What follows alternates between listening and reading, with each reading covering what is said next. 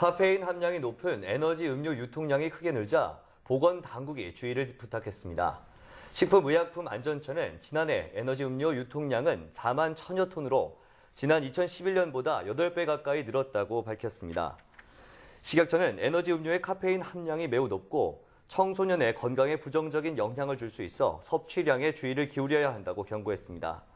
특히 어린이는 에너지 음료 한 캔만 마셔도 카페인 일일 섭취 권고량을 넘길 수 있다고 지적했습니다.